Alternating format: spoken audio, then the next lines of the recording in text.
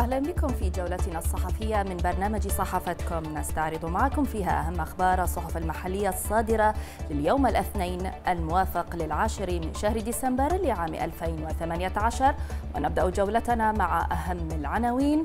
ونبدأ مع صحيفة الوطن والتي استهلت في أولى صفحاتها. قمة الرياض استكمال منظومة التكامل. الملك دور رائد لخادم الحرمين بتعزيز العمل الخليجي المشترك. في ثلاثة أوامر ملكية تعيين أعضاء الشورى والصالح رئيسا للمجلس ودعوة المجلسين للانعقاد في الثالث عشر من ديسمبر. حمد بن محمد الفايبر يصل جميع المنازل ضمن الخطة الوطنية الرابعة. هذا ولفتت صحيفة الأيام الملك شارك في القمة الخليجية وأكد على أهمية تجاوز التحديات ووحدة المصير. الرفاع يتأهل لملاقاة المحرق في نصف نهائي كأس الملك. صحيفة أخبار الخليج أبرزت على صدر صفحتها الأولى. في قرار لرئيس الوزراء السماح للتايلانديين بمزاولة تجارة التجزئة بنسبة 100% في مدينة التنين. هيئة تنظيم الاتصالات إطلاق ترددات الجيل الخامس نهاية 2019 القمة الخليجية تشيد بنجاح الانتخابات في البحرين. وإلى صحيفة البلاد والتي عنونت رئيس الوزراء توجيه المال العام لخدمة الشعب. سلمان بن إبراهيم إرث من النجاحات. وأخيرا المرباطي رئيسا لمجلس بلدي المحرق.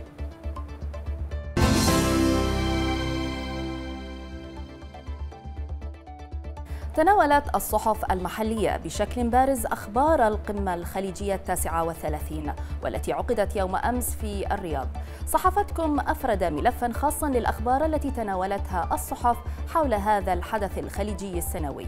ومن صحيفة الأيام نقرأ أن حضرة صاحب الجلالة الملك حمد بن عيسى الخليفة عاهل البلاد المفدى حفظه الله ورعاه شارك إخوانه أصحاب الجلالة والسمو وقادة دول مجلس التعاون لدول الخليج العربية في أعمال الدورة التاسعة والثلاثين للمجلس الأعلى لمجلس التعاون الخليجي برئاسة خادم الحرمين الشريفين الملك سلمان بن عبد العزيز آل سعود عاهل المملكة العربية السعودية الشقيقة حفظه الله وذلك في قصر الدرعية.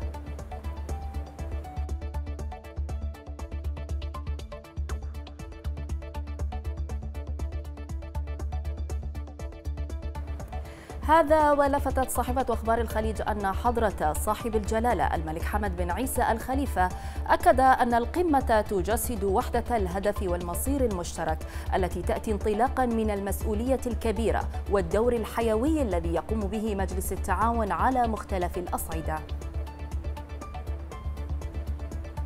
نقلت صحيفة الوطن قول خادم الحرمين الشريفين العاهل السعودي الملك سلمان بن عبد العزيز في الجلسة الافتتاحية لقمة دول مجلس التعاون الخليجي.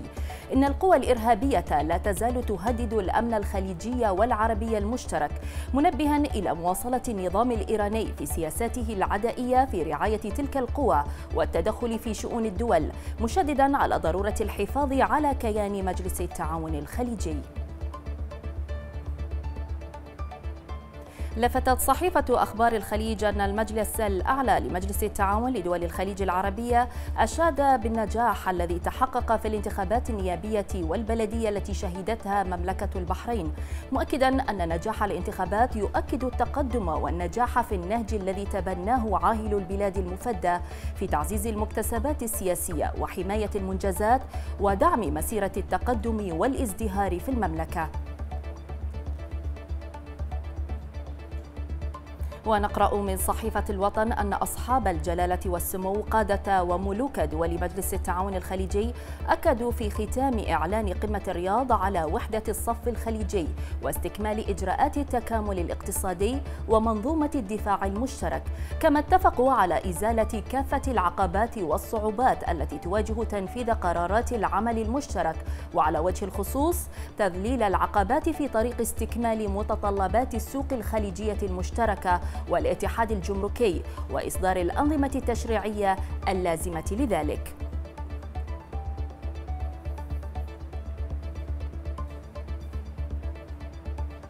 بينت صحيفة الوطن أن وزير الدولة للشؤون الخارجية الإماراتية الدكتور أنور قرقاش أكد أن قمة الرياض من أنجح القمم الخليجية حيث ردت على مزاعم المشككين حول مستقبل مسيرة مجلس التعاون الخليجي.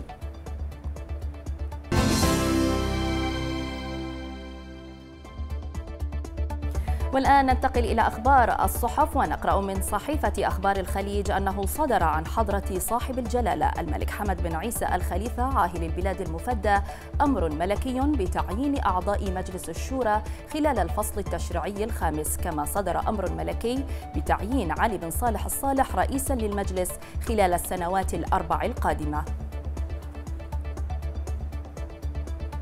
نطالع من صحيفة أخبار الخليج أن المبادرة الوطنية لتنمية القطاع الزراعي تنظم مهرجانا زراعيا بالتعاون مع كل من مجموعة بنك البحرين للتنمية ووكالة الزراعة والثروة البحرية التابعة لوزارة الأشغال وشؤون البلديات والتخطيط العمراني.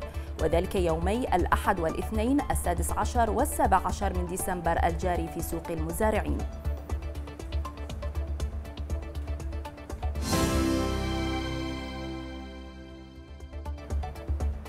وإلى صحيفة الوطن ونقرأ أن القائمه بأعمال الرئيس التنفيذي بهيئة تنظيم الاتصالات الشيخ حمد بن محمد ال خليفه كشف عن تغطية البحرين بشكل شامل بالألياف البصرية فائقة السرعة لتقديم سرعات عالية وبأسعار تنافسية مؤكدا استعداد البحرين لطرح ترددات الجيل الخامس للشركات أواخر العام 2019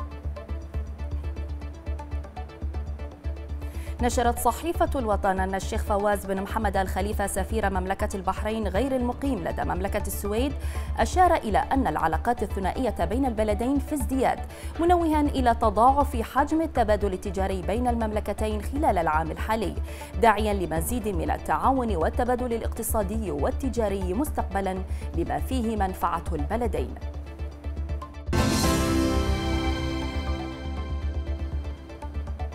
احتفاء بالعيد الوطني المجيد وذكرى تولي صاحب الجلالة عاهل البلاد المفدى مقاليد الحكم. نقرأ من صحيفة البلاد أنه برعاية محافظ الجنوبية سمو الشيخ خليفة بن علي بن خليفة آل خليفة تنطلق فعاليات وبرامج المحافظة على في منطقة الرفاع عصر اليوم الاثنين بالساحة المحاذية لقلعة الشيخ سلمان بن أحمد الفاتح.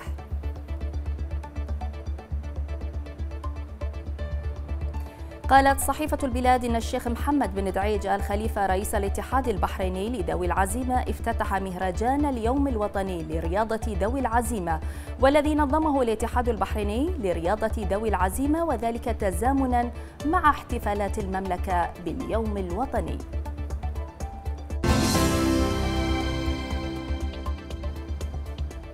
وأخيرا ننتقل إلى صحيفة الأيام حيث افتتح وزير التربية والتعليم الدكتور ماجد النعيمي فعاليات المعرض الزراعي التعليمي الثالث الذي ينظمه معهد البحرين للتدريب تحت شعار استدامة الزراعة استدامة الحياة. سيستمر هذا المعرض حتى الحادي عشر من ديسمبر الجاري ويستمر من الساعة التاسعة صباحا وحتى الثانية ظهرا.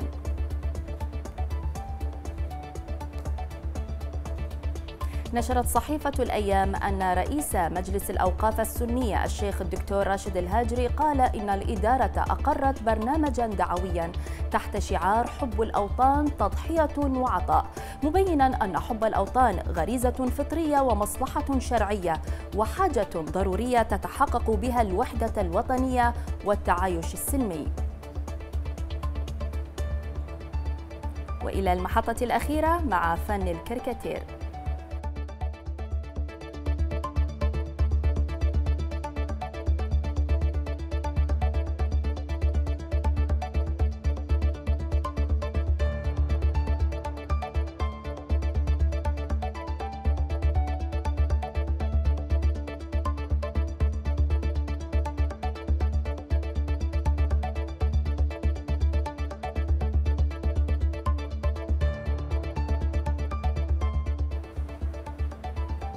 إلى هنا نكون قد وصلنا إلى ختام الجولة الصحفية لهذا اليوم. شكرا لكم على طيب المتابعة.